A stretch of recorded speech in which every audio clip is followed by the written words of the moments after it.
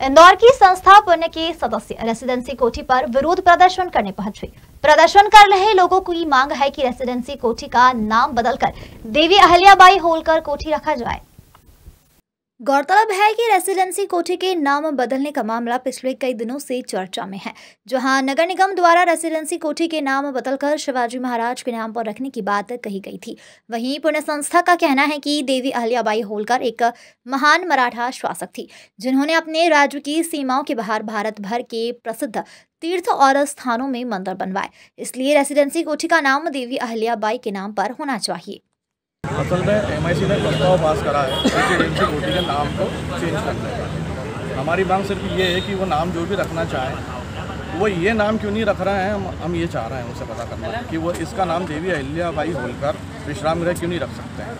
क्योंकि ये त्रिशताब्दी जयंती वर्ष मनाया जा रहा है मातोश्री का, ये इंदौर नहीं, मध्य प्रदेश नहीं, पूरे देश में इसको लेकर साल भर कार्यक्रम चलने वाले हैं। अगर इसी समय पर रेसिडेंसी कोटी का नाम चेंज करना था तो नगर निगम देवी अहिल्याबाई होलकर के नाम से अगर इसको कर देती तो तीस शताब्दी वर्ष में एक बहुत अच्छा तोहफा हमारे धनगरों को और इंदौर की जनता को मिल पाता इसको लेकर आप मिले भी हैं महापौर जी और महापौर जी से हम आज मिलने वाले हैं। असल में परसों एमआईसी में प्रस्ताव पहले से प्रस्तावित नहीं था अचानक रखा गया। हमें कल जानकारी प्राप्त हुई है।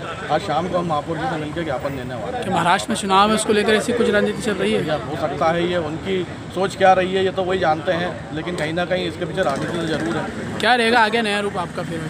अगर शांतिपूर्ण तरीके से हम लोग हमारी मांग रख रहे हैं पिछले साल भी एक ऐसे केस हुआ था जब एमआईसी की फ़र्स्ट मीटिंग हुई थी। उन्होंने सैया संयोग तरह राज्य स्कूल का नाम चेंज करने का प्रस्ताव लिया। था हमने महापौर जी से मिलकर उसका विरोध करा तो बाद में उसको उन्होंने चेंज कर दिया।